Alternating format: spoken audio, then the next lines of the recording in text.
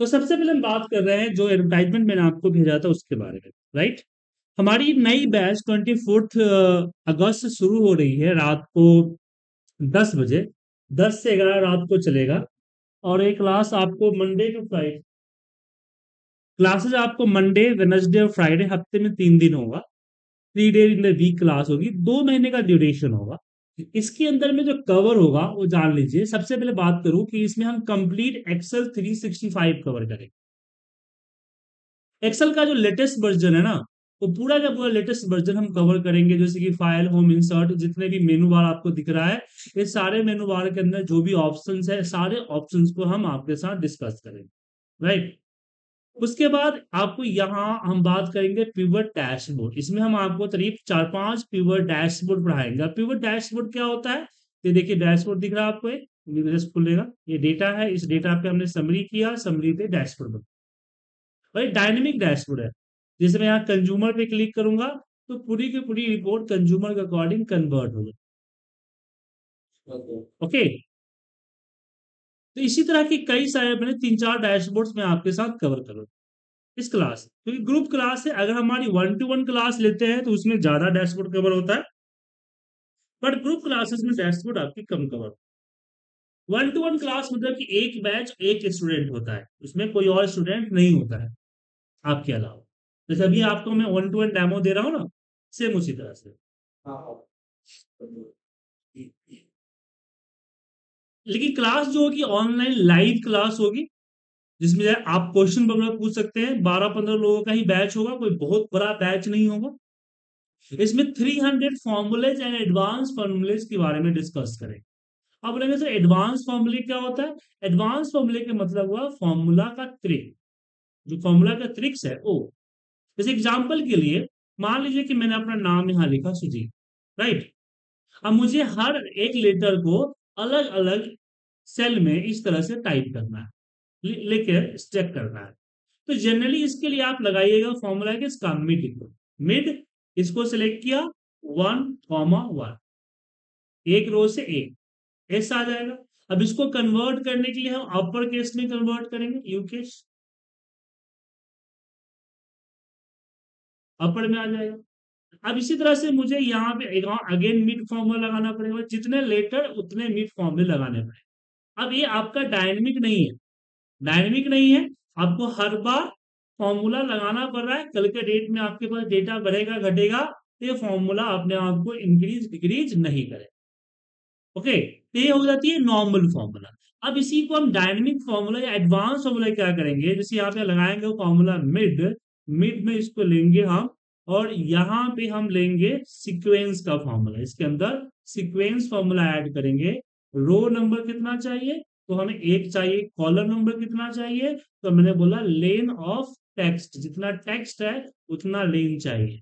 Start एक से हो, एक का स्टेप हो। एक से स्टार्ट हो और एक का स्टेप एंड यहाँ पे हमने कॉमा वन कर एंटर प्रेस करेंगे। आपका देखिए सुचिता है कल के डेट में नाम अगर घटता है तो ऑटोमेटिक घट जाएगा, बढ़ता है। जैसे मैं यहाँ पे मान लीजिए रवि भूषण।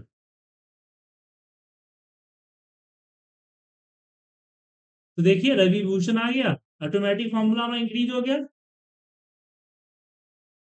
तो this is the dynamic formula इस तरह के डायनेमिक फॉर्मूले तो छोटा सा एग्जांपल है बट इस तरह के जो डायनेमिक फॉर्मूले वो हम बताएँगे कि हम मैनुअल एक एक चीज़ ना करके हम ऑटोमेट कैसे करें। इसी तरह के सारे शॉर्टकट्स हम इस पर डिस्कस करेंगे आपके साथ। ठीक है? देन हम बात करेंगे पावर क्यूरी पावर क्यूरी जैसे कि कभी कभी डेटा हमें सही नहीं आता है, उस डेटा को सही करके कैसे लाना? वो हम जैसे प्यूवर्ड अनप्यूवर्ड और भी बहुत सारे कैलकुलेटेड फ़ील्ड या फ़िल्टर डेटा लेके आना वो सारी चीज़ों पर डिस्कस करेंगे power query dynamic charts charts के ऊपर जो ये डेवलपर टैब में जो बटन होता है ये बटन चार्ट के ऊपर कैसे लगाए बहुत बड़ा डेटा को कैसे चार्ट के अंदर हम कम कंसिडरेट करें उसके बारे में डिस्कस करें। ठीक है ना?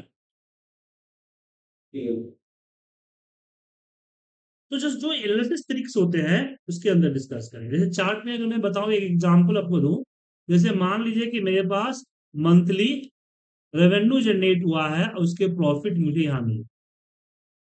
ठीक है? मान लीजिए मंथली है और यहाँ पे मैंने अमाउंट हो गए और यहाँ पे मेरा प्रॉफिट हो गया।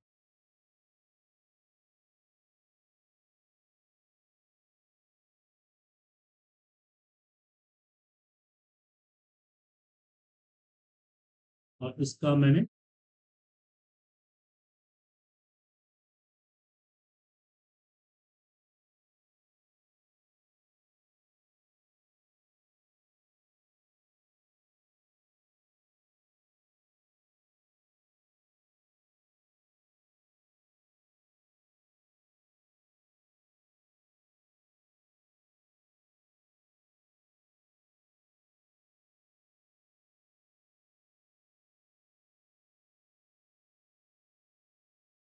ठीक है?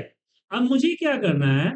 इसको इस तरह से दिखाना है कि इतना रेवेन्यू जनरेट हुआ इसके अंदर इतना परसेंटेज हुआ। तो बहुत सारे लोग क्या करते हैं? ये चार्ट ले लेते हैं। इसमें दिखा दो। ये बिल्कुल गलत है। क्यों? क्योंकि ये जो लाइन आपको दिख रहा है जैन का तो जैन का लाइन आपको दिख रहा है एक सौ चालीस दिखा रहा है क्योंकि इसने यहाँ से इतना इन दोनों को जोड़ दिया जबकि मुझे यहाँ दिखाना है कि पचासी में साठ को रिप्रेजेंट करना है। राइट ये चीज़ें चार्ट में होगी नहीं। तो हम क्या करेंगे? इसके लिए यहाँ पे एक अलग ए बनाए। यहाँ पे यहाँ पे हम डालेंगे प्रॉफिट परसेंट जिसमें हम इसको डिवाइड करेंगे 85 से, जिससे मुझे पास परसेंटेज पता चल जाएगा कि ये प्रॉफिट परसेंटेज है। और यहाँ पे मैं लिखूँगा 100 परसेंट माइनस इसको सेलेक्ट कर।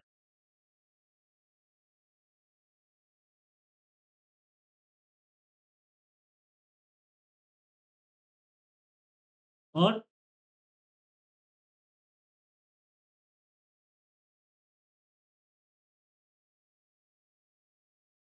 ये दोनों को परसेंट में करते हैं।